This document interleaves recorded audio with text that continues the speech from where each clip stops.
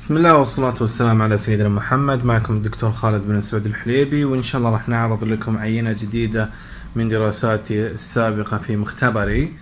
طبعا هذه أحد العينات المتواجدة عندي حاليا. هذه أحد العينات اللي أخذتها من آه، جسم آه، إنسان آه، المرضى. طبعا هذه العينة عبارة عن جلد فيه أنواع من الفطريات التي تقشر آه، الجلد. طبعا كان موضوع بحثي آه، بخصوص نوع الفصيلة آه، الفطريات وكان موضوع مهم جدا في اكتشاف نوع الفصيلة لمعرفة الأعراض التي تسببها في الجلد. كان طبعا موضوع مهم جدا وحلو وشيق و...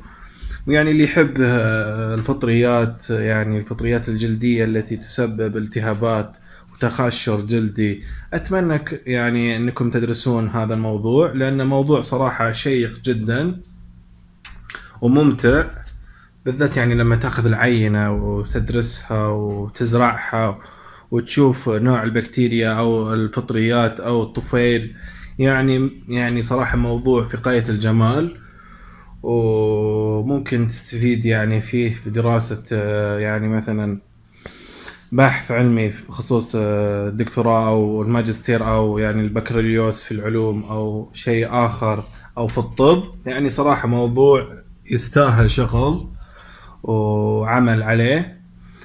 وطبعا آه، كان موضوعي آه، مطول عليها لاني درست يعني كذا عينة فيها بخصوص يعني هذه العينة الجلدية.